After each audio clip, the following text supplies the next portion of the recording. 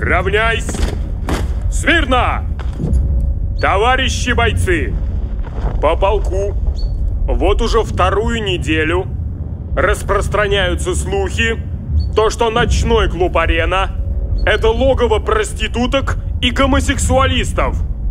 Так вот, властью, веренной мне государством, я официально заявляю, что это правда.